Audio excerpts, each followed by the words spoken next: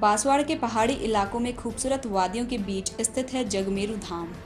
1300 metre की ऊंचाई पर माही रोड पर यह स्थल मौजूद है। जिला मुख्यालय से करीब 14 किलोमीटर की दूरी पर नीले आसमानों को छूती जगमेरू पहाड़ी से देखने वाले कुदरती नज़ारे बारिश में देखते ही बनते हैं।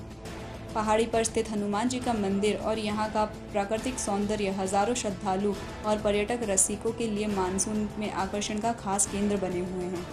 हनुमान जी के धाम पर यहाँ मन की मुराद भी पूरी होती है और गजब की हरियाली दिल दिमाग को सुकून भी पहुँचाती है। बांसवाड़ा पूर्व में डूंगरपुर रियायत का ही हिस्सा रहा। कहा जाता है कि राजा जगमाल सिंह को बांसवाड़ा विरासत में मिला था।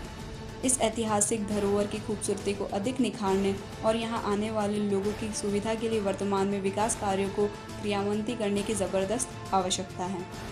दर्शनार्थियों के लिए मूलभूत सुविधाओं तक का अभाव है। जगमेरू धाम के डेवलपमेंट के लिए जिम्मेदार लोग ध्यान दे तो जगमेरू धाम की बात ही कुछ और हो सकती है।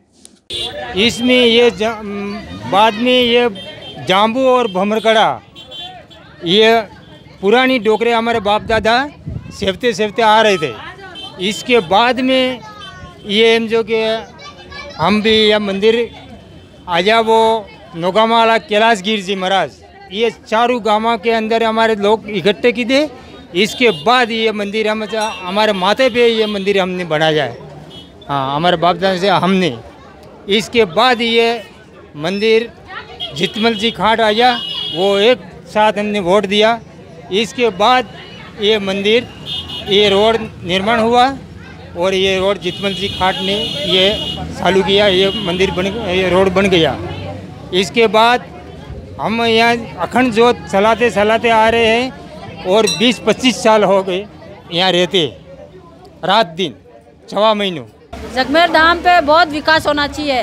और बिजली की कमी है और पानी की कमी है और पौधे लगाना है।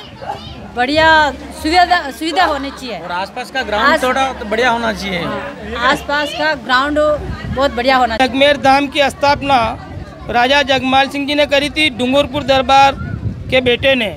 और यहाँ से मंदिर बनाया और यहाँ पे पुराना मेल तालाब बना के इसकी स्थापना करने के बाद बांसवाड़ा ज़िले की बांसवाड़ा की रियासत की स्थापना हुई है।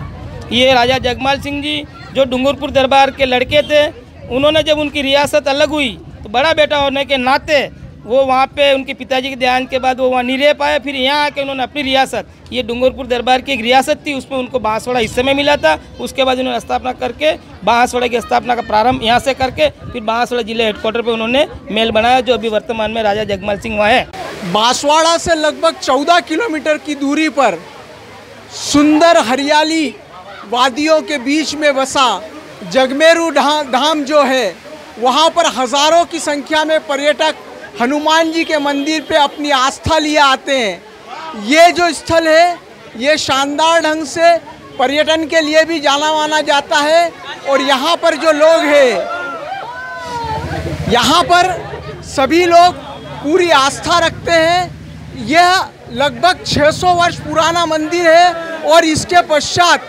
बांसवाड़ा की बसा, जो बांसवाड़ा बसा है इस मंदिर के पश्चात बांसवाड़ा बसा गया गया है, ये कहा जाता है। इस जगह को बहुत ही व्यवस्थित डेवलप करने की भी आवश्यकता है। यहाँ के लोग चाहते हैं कि इस पिकनिक स्पॉट को बहुत ही सुंदर तरीके से डेवलप किया जाए। वॉइस ऑफ़ एमपी के लिए अब्दुल अली ईरानी। बांसवाड़ा से अब्दुल अली ईरानी की